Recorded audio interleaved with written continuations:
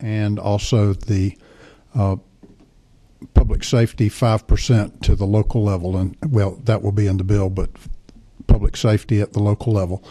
And that's just the dedication portion. And then it says in the resolution that the percentages and manner and method of allocating the money can be decided by the General Assembly and uh, such bills and resolutions as it may adopt. Are there any questions for the uh, for the sponsor? Do I hear a motion? All right, there's a motion second. Any discussion? All in favor say aye. Any opposed? It passes to rules. Now, on your iPad, you've got the original version of the bill, which is SB 350, and the original version was 410698. In committee, we've made two um, amendments to there, uh, and we'll go over those in just a second. Uh, but the version that we're operating off of now is SB 350 LC 410788S. You want to speak to that, Representative Battles? Uh, Yes, sir. Uh, This is that the money collected, which would be the five percent um, of the excise that was is sold or is collected from the, the sale of fireworks, uh, the money would be collected, and uh, those percentages would be in the amount of fifty-five percent will be provided for the Georgia Trauma uh, Care, uh, and then also for the uh, firefighter standards training and uh, the equipment and training for the local uh, fire departments. And, um, and this is to improve the um, department's uh, ability to have insurance ratings that would be accepted by the insurance uh, commissioner. So we do have the insurance service officers that were involved in this. Representative Carson. Representative Battles, thank you for bringing this forward. It's my understanding uh, um, um, that the current that the excise tax is currently uh, applied, and it amounts to about a million dollars a year. Is that right, Paul? This is true.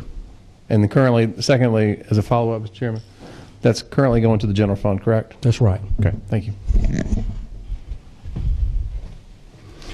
If the constitutional amendment passes, Passes. then that will dedicate the funds, and then the bill that we're talking about would allocate those funds. And what we did in subcommittee is that um, on line 22, instead of just allocating the money to the equipping and training of firefighters and improving the rating of fire departments, we added the language on 22 exclusively used for the implementation of a grant program as to that 40%. And the rationale there was we did not want this to supplant what was uh, already being allocated for the firefighters' standards and training. We wanted it to be extra and in addition and for those purposes.